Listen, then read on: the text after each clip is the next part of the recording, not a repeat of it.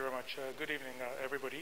Uh, a quick uh, update on the situation with regards to um, uh, with regards to the evacuation of, uh, of Nigerians. Um, as the chairman has said, we have um, evacuated Nigerians from Dubai, London, and um, the U.S., New York, or Newark. And uh, well, first of all, I would like to express our profound gratitude to the heads of our missions uh, in the United Arab Emirates, uh, in, uh, in London, and, uh, and in uh, New York. they all worked extremely hard in the consulates and the embassies, and were able to deliver very good results. So I really thank them for their very, very hard work.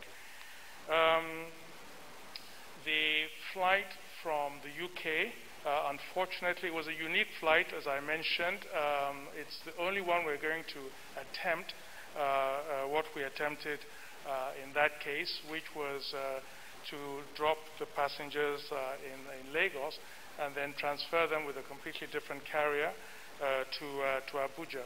Unfortunately, a number of things went not the way we wanted them to go, and for that we apologize uh, most uh, profusely to all the passengers, uh, those who had to wait a significant amount of time in Lagos before boarding the connecting flight to, to Abuja.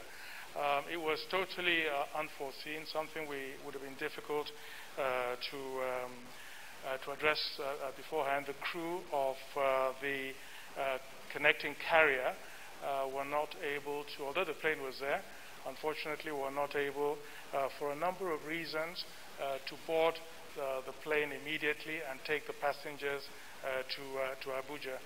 We, uh, we were fully engaged during the whole process, trying to get that plane to take off quickly. but as I said, you know, unfortunately, this did not happen, and we apologize truly to, um, to all those passengers. And also in Abuja, there were some logistic issues uh, that again uh, created some delay. And, um, and there again, uh, profound apologies. We have put in place mechanisms now to uh, ensure that uh, no such thing uh, occurs again and have really taken all the strictest measures that we, we need to take. And, um, and, we saw the benefits of those and those new mechanisms we put in place because the flight that came in uh, Uh, yesterday from, uh, from the United States, uh, everything went uh, seamlessly. And that's how we would want to uh, keep that going, going forward. Um, now we have over 600 evacuees in various um, accommodation in Lagos and, and in Abuja. And um, we're reaching uh, as I understand from our medical people, a saturation point, uh, the maximum we can really uh, cope with and be able to deliver adequately and, and professionally the services and the care that we, um, we're supposed to.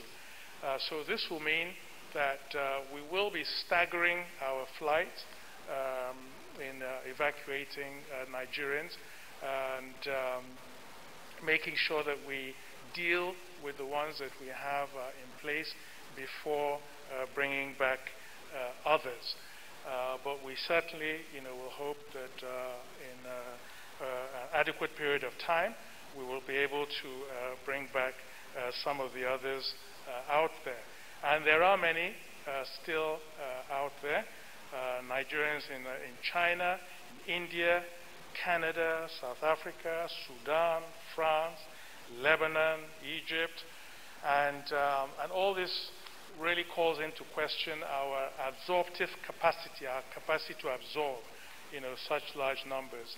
And, uh, and clearly, our system is being uh, strained, so we really have to take it easier, and also to ensure that, you know, we can, we can deliver optimally uh, as we're supposed to. Um, another issue that's come up in the media quite often has been the issue of using Nigerian carriers. Um, I've explained in the past, and, uh, and I'll do that just very quickly again. Um, you know, the, the, the, the, carrier that came from the United Arab Emirates Um, it was not a government uh, organized one. Um, and um, the one from the UK was one that was coming already. And the, and the one that came from, uh, from the US was one that had been uh, uh, arranged and pretty much you know, a private sector uh, initiative. But um, you know, the government is mindful uh, of the uh, importance and the need to use um, local carriers. And um, I'm happy to say that uh, the pipeline uh, flights, uh, the flights that we have in, in, process of arranging, missions are arranging, are all Nigerian uh, carriers. So henceforth, going forward, uh, we hope that we'll be using uh, only Nigerian carriers. So thank you very much for your attention. Thank you.